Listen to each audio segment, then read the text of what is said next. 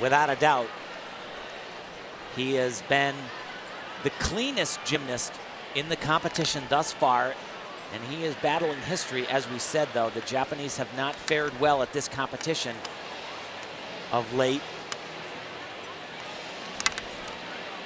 That was great, right to a handstand.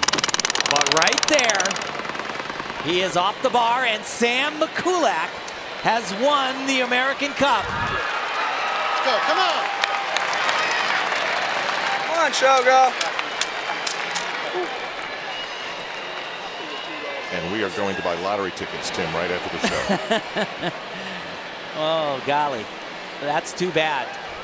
It was far, but I, I don't know why he didn't get his hands around the bar.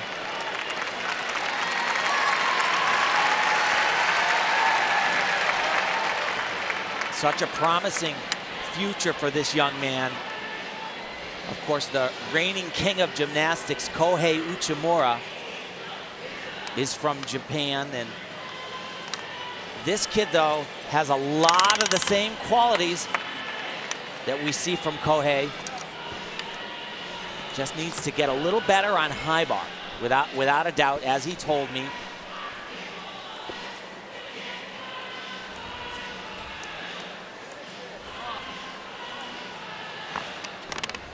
Well, he had it right in his hands and he let it go. Not the best performance here, but you can't help but wonder if he is looking ahead towards the 2020 Olympic Games in Tokyo.